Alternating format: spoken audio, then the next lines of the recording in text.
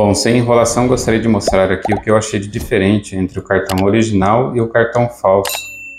É, eu tenho aqui esses dois cartões de memória micro SD.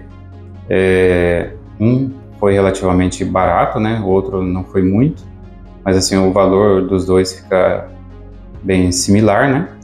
Mas aqui eu gostaria de mostrar é, o que, que eu achei de diferente. Algumas dicas eu peguei na internet, realmente bate. Mas aqui, pegando os dois, a gente, a gente vê a diferença bem nítida. Então, uma das primeiras coisas que a gente vê, é claro que é a impressão. Esse aqui, por exemplo, que é o cartão falso, é, a impressão está bem mal feita, a gente vê até falhas aqui na, na impressão, enquanto aqui o original, a gente vê que ele tem uma impressão bem é, é, nítida, né? Aqui em cima também, não sei se vai dar para perceber muito, mas a gente tem esse recorte aqui onde fica exposto né, o cartão de memória em uma, uma loja, por exemplo.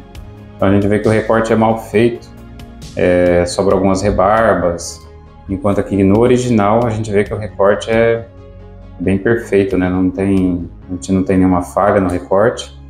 Aqui em cima nessa impressão do original também a gente vê que é uma impressão bem feita, essa impressão aqui embaixo também. Já do cartão falso a gente vê que é uma impressão bem é borrada, é mal feita, a cor é diferente. Aqui esse ultra aqui é borrado, tem uma tonalidade de cor diferente, enquanto aqui a gente vê que é bem nítido. É, outro ponto também é que ele mostra que, por exemplo, que a velocidade máxima que ele pode atingir aí, né, seriam 100 MB, enquanto aqui ele mostra 170 MB.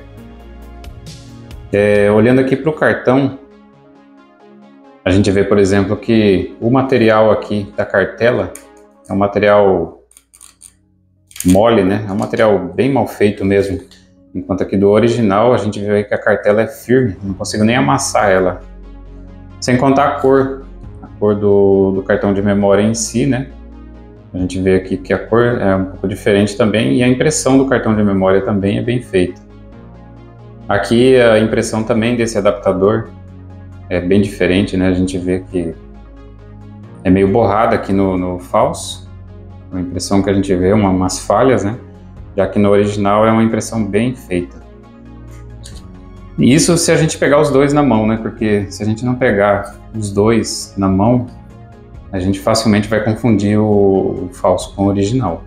Já que no fundo, a gente tem um outro detalhe aqui, que seria bem nesse ponto aqui, normalmente no original a gente tem um adesivo aqui. Bem aqui nesse ponto a gente tem um adesivo. Posso até comparar aqui também com um pendrive original da SanDisk. Esse pendrive foi adquirido na Calunga e ele também tem esse adesivo. Outro ponto também, é, além da impressão, né, que também é muito ruim aqui a impressão no falso, esse falso aqui a gente tem uma impressão mal feita, né, um pouco um pouco apagada, enquanto aqui a gente tem uma impressão mais nítida e ela é bem mais uniforme, né? Outro ponto também, esse falso dá para a gente ver que é um papel colado sobre outro papel. Então não, não tem nada demais aqui. Eles pegaram um papel impresso e colaram no outro com essa cartela dentro. Aqui no original a gente vê que existe uma cartela aqui dentro. A gente vê até a marca dela. A gente pode ver essa marcação também aqui no pendrive da SanDisk. Então a gente tem uma, tem uma cartela aqui dentro. Bom, essas é as principais diferenças aqui olhando por fora. Agora eu vou abrir o cartão para a gente ver como que ele é por dentro. Então eu vou abrir primeiro aqui o cartão falsificado, né? Eu vou fazer a abertura dele aqui em cima.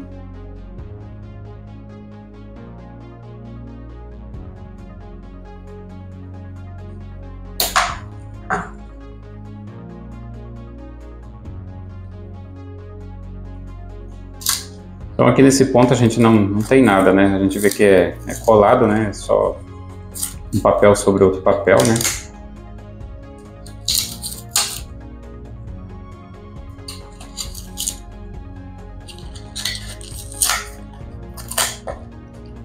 Bom, quando eu retiro aqui o cartão, a gente já vê a primeira coisa aqui, o cartão ele vem solto. Então, tirei aqui, ele não, tem nada, não tem uma película protegendo, não tem nada. Então, o cartão vem solto. Só isso, nada mais. Agora a gente pode abrir aqui o original. Vamos fazer então aqui a abertura do original, mais ou menos no mesmo ponto.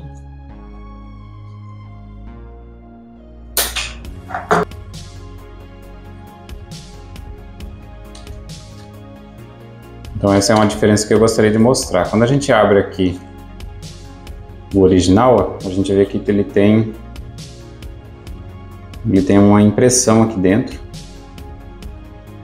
né? Já mostra um outro cuidado, né? E até a forma de colar é diferente. E aí quando eu abro aqui o cartão, então a gente tem uma película aqui. A gente tem uma película no para proteger o cartão. E a gente pode ver que ele ele vai ter aqui uma inscrição made em Malásia, né? E tem aqui o número de série no cartão. Até mesmo aqui no, no adaptador de cartão a gente vê que é diferenciado, né? A gente vê que tem uma impressão aqui no, no adaptador. Além de algumas inscrições que a gente tem aqui, né? No, no próprio, na própria cartela, né? Do cartão. E assim, o cartão, eu vou retirar ele aqui do, da película para mostrar como que ele é. Inclusive, é, é até ruim para a gente fazer a abertura dessa película aqui.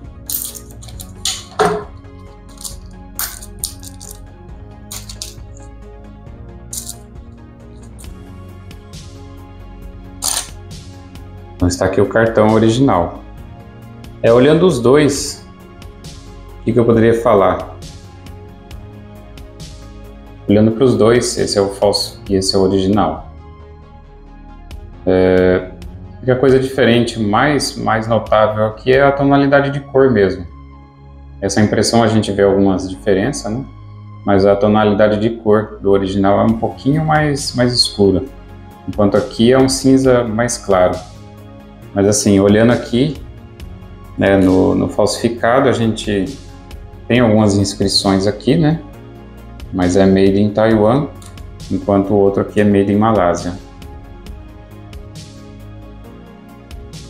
Bom, e por fim, né, a melhor de todas para a gente verificar a autenticidade do cartão é a gente colocar ele na, num computador, no notebook, e fazer uma varredura nele com um, um aplicativo. Eu vou fazer o teste nos dois, isso para a gente ver a velocidade dos dois, e, e ver o que acontece quando a gente começar a colocar arquivos nele, né? O, aplicativo vai colocar arquivos nele, né? E vai fazer uma varredura, vai fazer uma leitura do, da capacidade real do micro SD, porque ele diz que tem 128 GB, mas esse falsificado normalmente não tem. Eu vou passar para o aplicativo para a gente ver o resultado. Bom, o aplicativo que eu vou utilizar aqui chama-se H2TestW. É, eu vou utilizar aqui esse adaptador micro SD para USB-C. Eu vou fazer primeiramente o teste com o micro SD falsificado. Então o teste é bem simples de fazer. A gente vai abrir aqui o aplicativo, né? Vou colocar aqui em inglês. Vou selecionar o alvo aqui. Então no meu caso aqui, preciso achar aqui o micro SD. Ele já está aqui, ó. Vou colocar aqui. Bom, então ele já achou aqui. A gente vê, por exemplo, que está marcando aqui 124 GB. É, vamos marcar bem esse valor, porque o original ele vai dar um valor mais baixo, né? Na realidade, eles poderiam colocar qualquer valor aqui. Eles poderiam colocar aqui 1 tera, 2 tera, porque eles conseguem alterar aqui a leitura do, do cartão micro SD, né? Mas esse aplicativo ele vai fazer uma real leitura vai fazer uma, uma varredura do, do que tem de armazenamento e vai dar os erros que ele, ele vai encontrar aqui no cartão. Então eu vou iniciar aqui é, escrever e verificar. Ele vai me dar aqui mais ou menos o tempo estimado, né? O que acontece?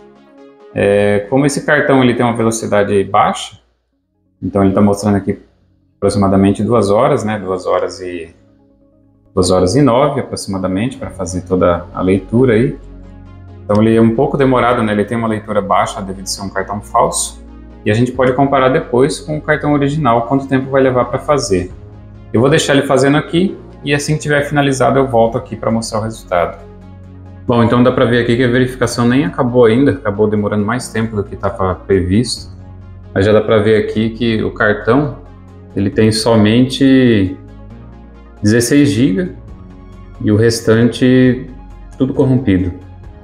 Então ele mostra né, que tem os 128 GB na, na cartela, mas na realidade esse cartão tem 16 GB e de péssima qualidade ainda. Então, todos os, os, arquivos que a gente colocar num cartão desse, que exceder aí os, os 15.8 GB que está mostrando ali, ele vai acabar corrompendo tudo. Então, fotos, né, alguma viagem que a gente imagina fazer e guardar para recordação, acaba perdendo tudo num cartão de má qualidade desse. Então, é um cartão de péssima qualidade e o pior de tudo é que não é um cartão barato. A gente acaba comprando ele aí no anúncio dizia 100% original. Eu sabia que não era original, eu comprei só para fazer o teste mesmo, só para mostrar aqui que na realidade esses anúncios aí é pura balela. Mas eu vou fazer o teste no outro original e vou mostrar o resultado aqui. Bom, então para finalizar aqui, vamos fazer o teste então no cartão original. A gente já vê aqui que, por exemplo, ele marca 119 GB, enquanto o falso indicava lá 124 GB. Então já tenho aqui o aplicativo aqui para a gente fazer o teste. Vamos abrir ele e ver como que ele vai se comportar.